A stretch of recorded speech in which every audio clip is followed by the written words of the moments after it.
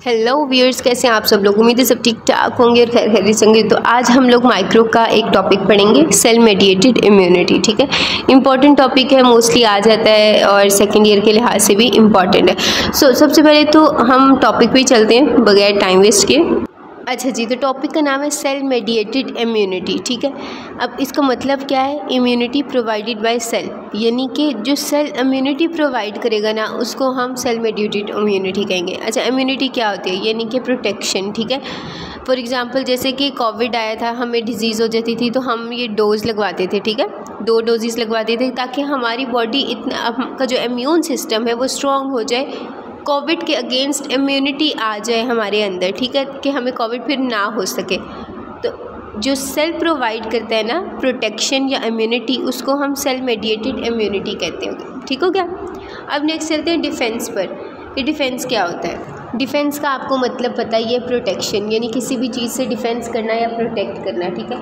तो यहाँ पे क्या है, protect body from pathogen by differentiate between specific pathogen. अच्छा देखें, अब हमारी बॉडी के लिहाज से हमें किस चीज़ से प्रोटेक्शन चाहिए? ऑब्वियस है, जैसे हमें डिज़ीज़ होने से हमने बचना है ना, हमने हेल्दी लाइफ गुजारनी है तो हमें डिज़ीज़ कैसे होती है? पैथोजन से होती है, कोई बैक्टीरिया वायरस इन्फेक्ट कर देते हैं, जिसकी वजह से हमें डिज़ीज़ होती है। जैसे कि अगर आप मॉस्कीटो से हमें मलेरिया हो जाता है, हमने पढ़ा था। तो अब हम उससे, उसके अगेंस्ट लड़ते हैं, ठीक है? डिफेंस एक क्रिएट करते हैं, एक शील्ड बीच में क्रिएट करते हैं, जिससे हमें डिज़ीज़ ना हो सके। और कैसे करेंगे? अपना इम्यून सिस्टम स्ट्रॉन्ग करके। तो ठीक है?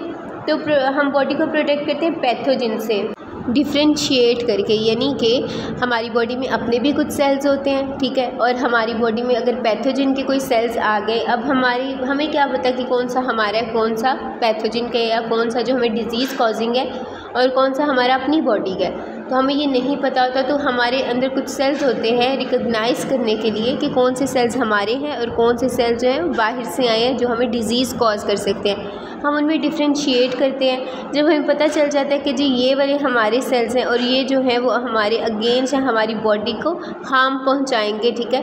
तो फिर हम उनके अगेंस्ट एक डिफेंस क्रिएट करते हैं, अपने सेल्स को सेव करते हैं, ठीक है? तो सिंपल डिफेंस ये है कि अपनी बॉडी को पैथोजन से बचाने को हम डिफेंस कहते हैं, ठीक है? अब डिफेंस भी दो तरह के होते हैं। अब टाइप्स देखते हैं हम। So first one is cell mediated immunity and the second one is humoral immunity अच्छा जो सेल प्रोवाइड करते हैं, हमने पढ़ा सेल मेडिएटेड इम्यूनिटी और अब हमने डिफेंस की एक टाइप को आज डिस्कस करना है, सेल मेडिएटेड इम्यूनिटी। ये सबसे पहले आप लोगों ने डिफेंस को डिफाइन करना है, फिर उसके बाद उसकी टाइप्स जाना है और फिर उसके बाद आपने सेल मेडिएटेड इम्यूनिटी को कंटिन्यू करना है, ठीक है? नेक्स्ट डेफिनेशन जैसे कि मैंने आपको बताया था इम्यूनिटी प्रोवाइडेड बाई सेल इस term as cell mediated immunity वो इम्यूनिटी वो डिफेंस, वो प्रोटेक्शन जो आपको एक सेल प्रोवाइड करता है, उसको सेल मेडिएटेड इम्यूनिटी कहते हैं। ठीक हो गया? अब हम देखते हैं action of cell mediated immunity. यानी मैंने ये तो बता दिया कि सेल मेडिएटेड इम्यूनिटी वो है जिसमें सेल हमें प्रोटेक्शन देगा, ठीक है? लेकिन सेल कैसे देगा? मेन चीज़ सेल के अंदर भी तो कोई चीज़ होती है ना? जैसे हम कहते हैं, जी, हमारी आर्मी जो है, या तो हम कहते हैं, हमारी टीचर ठीक है? अब टीचर हमें जो है, हमें पढ़ाते हैं। अब उसमें से हम लोगों ने स्पेसिफिक टीचर होगा ना, जो हमें केमिस्ट्री पढ़ाते हैं। अब ये तो नहीं कहेंगे, जी स्कूल का पूरा स्टाफ हमें पढ़ाता है। नो आपके सब्जेक्ट्स कौन पढ़ाते हैं? वो एक स्पेसिफिक टीचर होगा, ठीक है? तो सेम एज़ हमें सेल्फ प्रोटेक्शन तो प्रोवाइड करते हैं, लेकिन उसमें से प्रोटेक्शन वाला जो है रोल अदा कौन करता है? हमें प्रोटेक्ट करता कौन है मेजर वो होते टी सेल ठीक है? T lymphocytes. तो action of cell mediated immunity is controlled by T cell, T lymphocytes. These T cells combine to provide immunity यानी कि हमारे टी सेल्स होते हैं वो आपस में कंबाइन करते हैं। एक सेल में जो होते टी सेल्स प्रेजेंट होते हैं वो सेल्स आपस में कंबाइन करते हैं और हमें प्रोटेक्शन प्रोवाइड करते हैं इम्यूनिटी प्रोवाइड करते हैं। ठीक हो गया? नेक्स्ट अब देखने के प्रेजेंस ऑफ़ टी सेल यानी टी सेल होते कहाँ पर हैं। तो ये प्रेजेंट होते हैं बोन मैरो में हमारे, ठीक है? स्टार्टिंग में ये बोन मैरो में प्रेजेंट होते हैं और फिर मेच्योर कहाँ पर होते हैं? जाके थाइमस में होते हैं, ठीक है? थाइमस में मेच्योर होने की वजह से हमने इसका नाम टी सेल्स रखा है। टी से थाइमस एंड टी से टी सेल्स ठीक है? इसका नाम क्यों है टी सेल ये भी आप बता सकते हैं, क्योंकि ये मेच्योर कहाँ पर होते हैं? टी सेल्स जाके थाइमस में। इस वजह से इसको टी सेल्स कहते हैं। लेकिन ये स्टार्टिंग में प्रेजेंट कहाँ पर होते हैं? बोन मैरो में, ठीक है?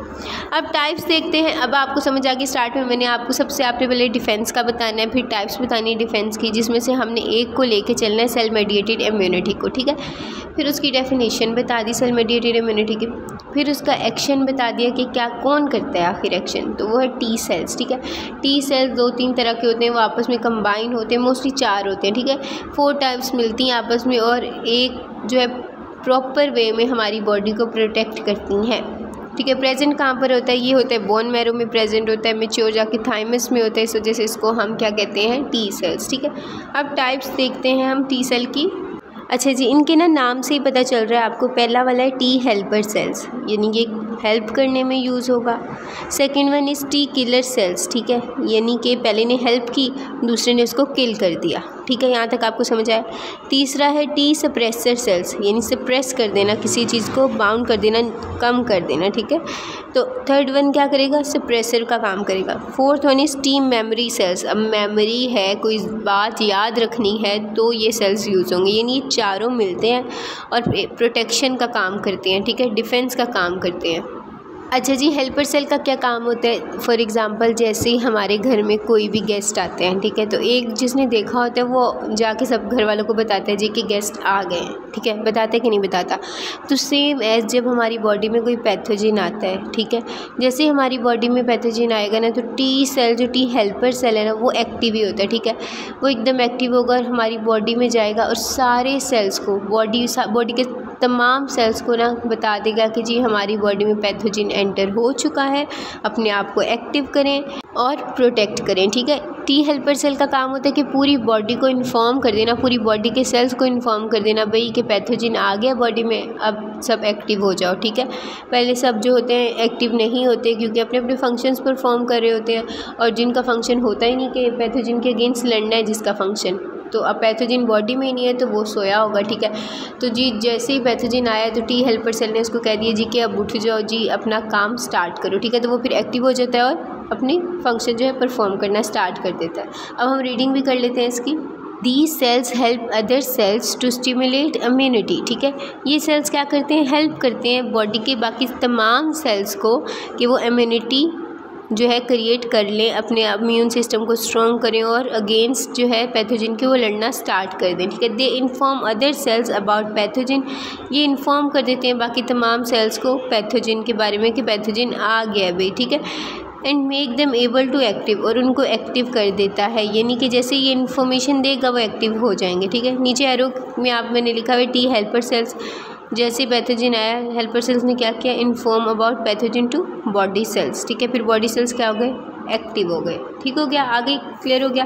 नेक्स्ट चलते हैं टी किलर सेल्स अब देखें बॉडी के सेल्स एक्टिव हो गए हैं, ठीक है? क्योंकि टी हेल्पर सेल्स के थ्रू अब नेक्स्ट काम है टी किलर सेल का।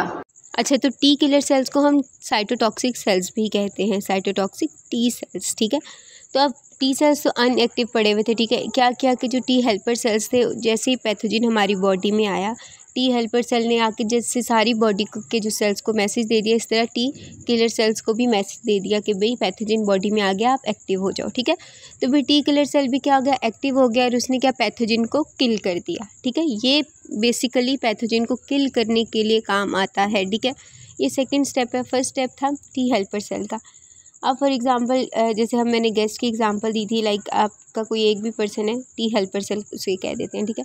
गेस्ट आए, उस टी हेल्पर सेल या उस आपके मेंबर ने जाके पूरी फैमिली को बता दीजिए कि गेस्ट आ गए उसमें से जो सबसे बड़ा होगा ना, उसको टी किलर सेल कह देते हैं, लेकिन टी रिसीविंग सेल कह देते हैं यहाँ पे, ठीक है? वो जाके जो है गेस्ट को रिसीव करेंगे, ठीक है? लेकिन in the case of pathogen वो जो बड़ा बंदा है उसको किल करेगा, ठीक है? तो सेम एज़ यहाँ पर जो हमारी बॉडी में टी किलर सेल है, वो जाके फ़ौरन ही पैथोजिन को किल कर देंगे, ठीक है? नीचे डायग्राम बल्कि पहले पढ़ लेते हैं, लिखा क्या हुआ T killer cells are cytotoxic T killer cells और साइटोटॉक्सिक टी सेल्स ठीक है? इसको साइटोटॉक्सिक टी सेल भी कहते हैं। When they receive signals from T helper cells they become active and then kill pathogen तो क्या कहते हैं कि जब ये रिसीव करते हैं सिग्नल टी हेल्पर सेल से तो ये क्या करते हैं? एक्टिव हो जाते हैं और पैथोजिन को किल कर देते हैं। सिंपल डायग्राम भी मैंने बताया है। छोटी छोटी जो बात बताई जाती है, उसको अपने ही तरीके से एक डायग्राम बना लें, उसको एक्सप्लेन कर दें ग्राफिकली एक्सप्लेन कर दें, ताकि एग्जामिनर पे अच्छा इंप्रेशन पड़े, ठीक है? अब नेक्स्ट सेल पे चलते हैं। अच्छा सबसे पहले एक्टिव कौन से हुए थे? पैथोजिन के एंटर होने से टी हेल्पर सेल्स एक्टिव हुए थे, ठीक है? उन्होंने जाके टी किलर सेल को एक्टिव किया। टी किलर सेल ने उस पैथोजिन को मार दिया, ठीक है? अब उसके जैसे वो किल करेगा पैथोजिन को तो टी सप्रेसर सेल्स जो हैं, वो एक्टिव हो जाएँगे। ये क्या करेंगे? सप्रेस कर देंगे इम्यूनिटी के एक्शन को, यानी कि जो टी किलर सेल सेल्स को किल करता जा रहा था, करता जा रहा था, जब पैथोजिन किल हो गया तो ये फ़ौरन ही टी सप्रेसर सेल क्या करेगा? टी किलर सेल को सप्रेस कर देगा, ठीक है? कि वो बाकी सेल्स को किल ना करे, ठीक है? देखिए, हम लोग डायग्राम से देखते हैं। सबसे पहले टी किलर सेल लिखा हुआ है, ठीक है? टी किलर सेल क्या करेगा? जैसे ही इसको मैसेज आएगा, ये एक्टिव होकर पैथोजिन को किल कर देगा। इस, ये जैसे ही पैथोजिन किल होगा तो टी सप्रेसर सेल जो है, वो एक्टिव हो जाएगा ऑटोमेटिकली ठीक है? ये हमारी बॉडी का सिस्टम है। तो जैसे टी सप्रेसर सेल जो है वो एक्टिव होगा, वो मैसेज भेजेगा किसकी तरफ़? टी किलर सेल की तरफ़ कि भाई अब रुक जाओ। यानी जिसलिए तुम, जिस वजह से तुम एक्टिव हुए थे, वो चीज़ हो चुकी है, अब तुम्हारा फ़ंक्शन ख़त्म हो गया तो अपने सेल्स की मल्टीप्लिकेशन करना बंद कर दो। अच्छा क्वेश्चन है कि जी मल्टीप्लिकेशन होती क्यों है? अब देखें, एक अगर सेल अगर मैं एक ही सेल को कहूँ कि जी बॉडी के सारे पैथोजेंस को मारो, ठीक है? वो नहीं कर सकता।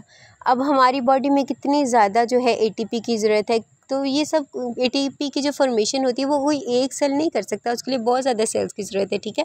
तो सेम एज वो पैथोजन कितना ज़्यादा स्ट्रॉन्ग होगा, उसके लिए कितने सेल्स चाहिए हमें, ठीक है? हमें नहीं पता, ठीक है? तो इस वजह से क्या होता है कि जो एक, जो टी किलर सेल है, वो अपनी कॉपीज़ बना देता है काफ़ी ज़्यादा। यानी कि एक हमारे पास पैथोजिन है, उसको हंड्रेड जो है टी किलर सेल ऐसे अटैक करेंगे, वो ऑटोमेटिकली मर जाएगा, ठीक है? तो देखो, जब अब पैथोजिन मर गया तो अब सेल्स को मल्टीप्लाई करने की या तो अपनी तादाद बढ़ाने की कोई ज़रूरत नहीं है। इस वजह से क्या होगा? टी सप्रेसर सेल सप्रेस कर देना, किसी चीज़ को स्टॉप कर देना, रोक देना ऊपर से मतलब कि एक मतलब किसी भी चीज़ के फ़ंक्शन को स्टॉप कर देना, ठीक है? तो टी सप्रेसर सेल इसीलिए एक्टिव होगा कि टी किलर सेल को कहे कि भाई अब स्टॉप हो जाओ। मल्टीप्लीकेशन जो है अपनी बंद कर दो, ठीक है? समझ आ गई? अब हम लास्ट जो है टी सेल के पे जाते हैं, ठीक है? टी सेल की फोर्थ टाइप कौन सी थी? टी मेमरी सेल ठीक है? तो टी मेमरी सेल क्या करेगा? T killer cells convert into T memory cells and move into body ठीक है? अब जो टी किलर सेल था, अब उसका फ़ंक्शन ख़त्म हो गया मारने का तो वो किसमें कन्वर्ट हो जाएगा? टी मेमरी सेल में कन्वर्ट होकर हमारी बॉडी में चला जाएगा, ठीक है? अब वो क्यों जाएगा हमारी बॉडी में? वो सर्वे करेगा हमारी बॉडी का दस साल तक ठीक है? या तो पूरी ज़िंदगी, या तो दस साल तक वो हमारी बॉडी में वो जो T killer cell T memory cell में कन्वर्ट हुआ था, वो दस साल या पूरी ज़िंदगी हमारी बॉडी में सर्वे करता रहेगा कि ये जो पैथोजिन मैंने मारा था, कि क्या ये पैथोजिन दोबारा तो नहीं आ गया? ठीक है?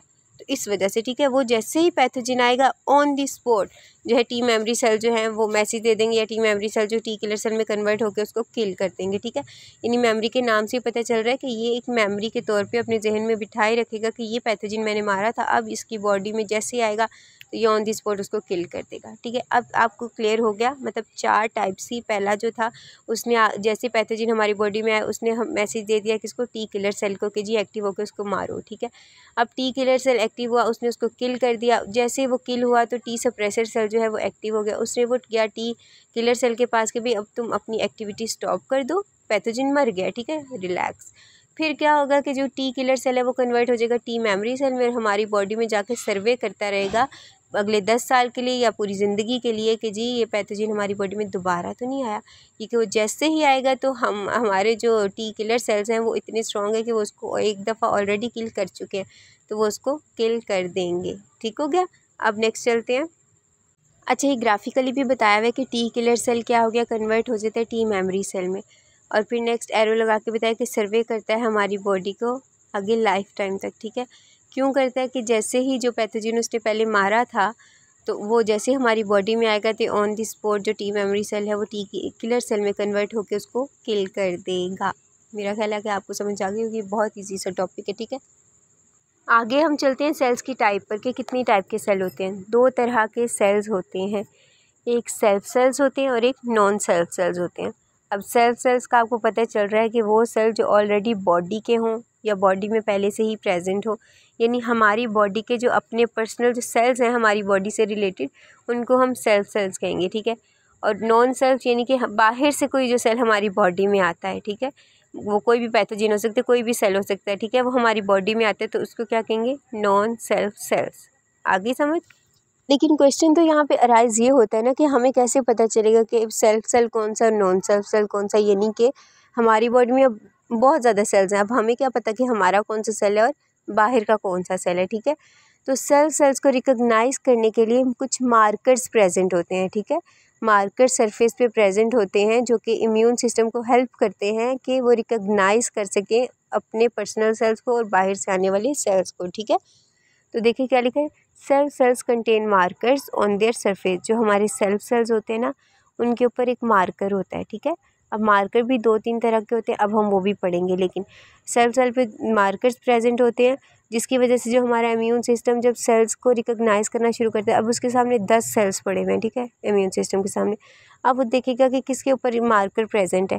अब जिस जिस पे मार्कर प्रेजेंट है, वो कहेगा, भाई जाओ तुम लोग, जिस पे नहीं प्रेजेंट तो वो क्या करेगा? फ़ौरन टी किलर सेल को कहेगा, जी कि इनको किल कर दो, ये हमारे सेल्स नहीं है, बाहर से आए हुए ठीक है? अब समझ आ गई? अब अब आज हम यहीं तक करेंगे। कल हम मार्कर्स देखेंगे कौन कौन से होते हैं। हम इसका डायग्रामेटिक व्यू सारा देखेंगे और ग्राफिकली देखेंगे इसको।